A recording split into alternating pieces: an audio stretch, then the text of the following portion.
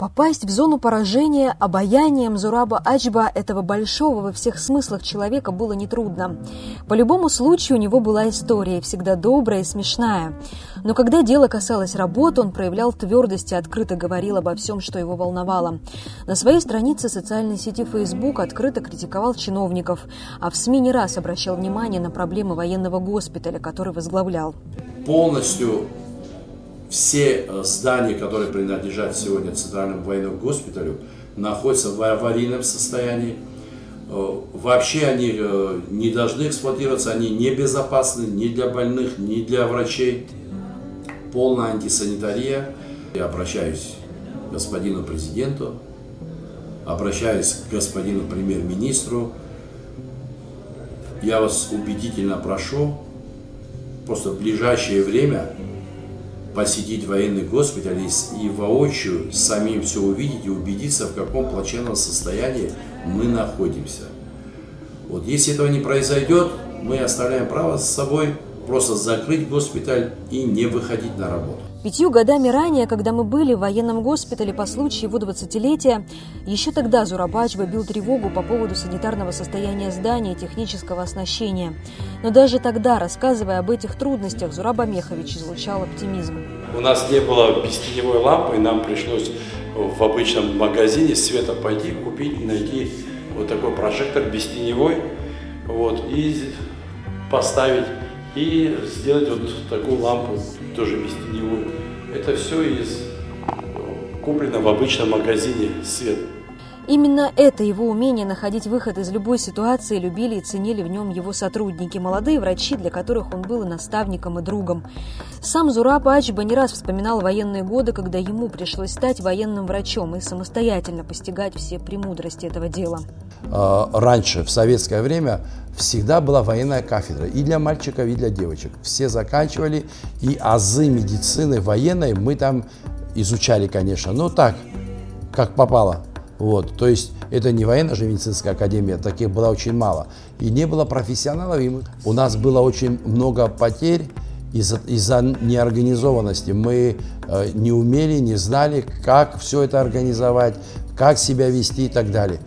В конце октября значит, командование Восточным фронтом э, вызвало меня, там, врачей, там, э, Георгий Капискири, там, и э, сказали, братцы, так дело не пойдет, надо что-то делать, а, то есть организовать нормальную, как его, медицинскую службу ну, на Восточном фронте. За день до начала войны в доме Зурабаевича повелась активная подготовка к его свадьбе.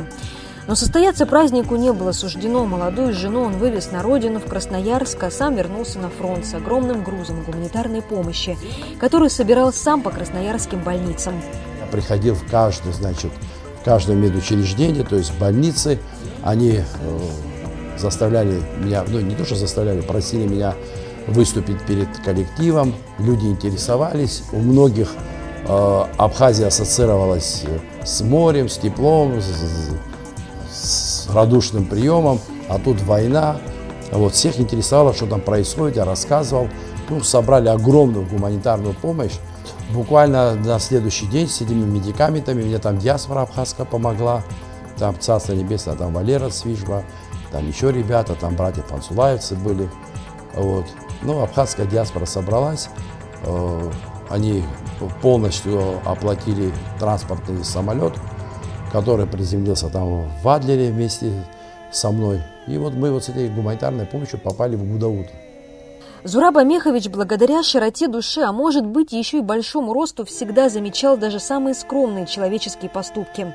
В одном из последних интервью, посвященных военному периоду, он вспоминал завхоза в полевом госпитале, где трудился в те годы. Что касается э, тыла, мы очень мало не э, вспоминаем.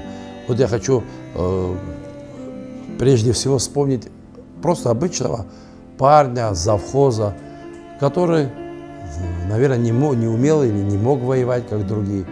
Вот. Был такой Рауль Цижба, у меня завхоз. Но человек сделал столько, сколько не сделали, наверное, многие, наверное, и врачи. Потому что зима, холод, снег, постоянно тепло. Господи, буржуйка, да надо принести дрова, принести воду, там же нет ничего. Я даже не, не видел, как он это успевал. Ночью мы никогда не просыпались от холода, потому что он, а он жил там недалеко, рядышком, через забор. Он приходил с дому, приносил дрова, постоянно обогревал, постоянно приносил воду. Там дома готовят, семья у него большая. Он фактически, я сто процентов уверен, в семье не доедали, и он вот эту всю еду приносил нам, э, дежурной смене, врачам, э, больным, раненым и так далее. Душевный, открытый, отзывчивый к чужим проблемам человек. Самый честный, добрый и человечный. Большой человек с большим сердцем. Уму непостижимо, такой добрый, порядочный, неравнодушный человек. Никогда не отказывал и всегда выслушивал нас. Рано ушел, очень рано. Внезапно и неожиданно. Так не должно быть, вечная память. Пишут на странице Зураба Ачба в Фейсбуке люди, которые знали его, которые общались с ним, кому он протягивал руку помощи. А один из последних комментариев самого Зураба Амеховича – это поздравление телеканалу Абаза ТВ, которое он оставил как раз в ту ночь, когда его не стало. Не стало Зураба Ачба, большого во всех смыслах человека. Don't be so